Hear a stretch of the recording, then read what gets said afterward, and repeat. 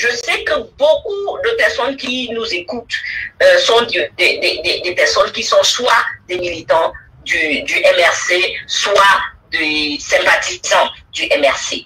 Et euh, je vais dire quelque chose qui va certainement fâcher certains.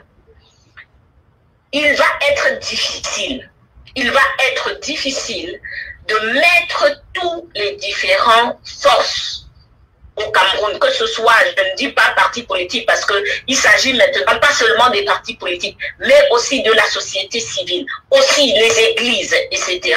Il va être difficile de mettre toutes les différentes forces euh, ensemble si le MRC ne quitte pas cette histoire de euh, euh, de d'élection. Hein? Donc, l'enjeu actuellement est un enjeu national. Les élections ont eu lieu, elles étaient des mauvaises élections. Quand, un jeu est mauvais, on ne reste pas et dit c'est moi qui a gagné le, le, jeu qui était mauvais. On a tous vu que l'élection était mal organisée. On a tous vu ce qui s'est passé pendant ces élections.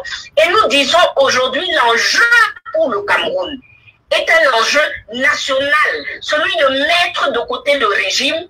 Mais si, si, si vous nous mettez dans la position où on dit, voilà, il y a un président élu, etc., vous n'allez pas rassembler les gens. Vous n'allez pas rassembler toutes les forces vives. Le, le programme doit être un programme de, de fondation de la nation. Tous les pays qui sont passés par là, c'est comme ça qu'ils ont fait.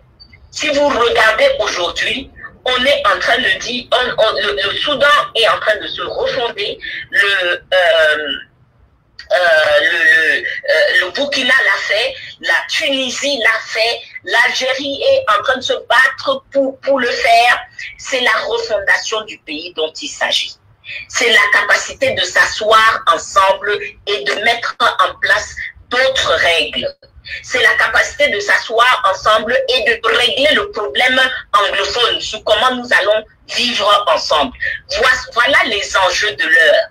Et quand un, grand mouvement, parce que le MRC aujourd'hui est un grand mouvement, quand un grand mouvement comme le MRC reste sur, euh, euh, met la chose autour d'une personne, c'est difficile pour les autres forces. Ça, c'est un message que je veux passer. Je sais que ça va fâcher certains, mais je, vous, vous, vous, vous perdez beaucoup de temps.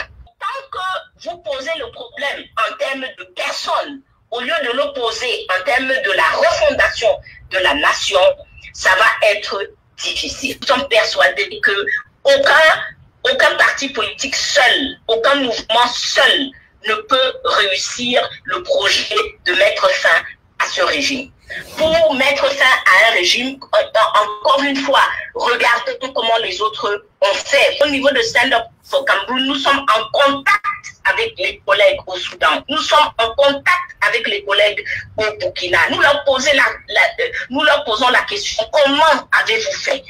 Comment avez-vous fait? Et cette condition de mettre les, les différents mouvements ensemble, c'est une leçon que tous nous donnent.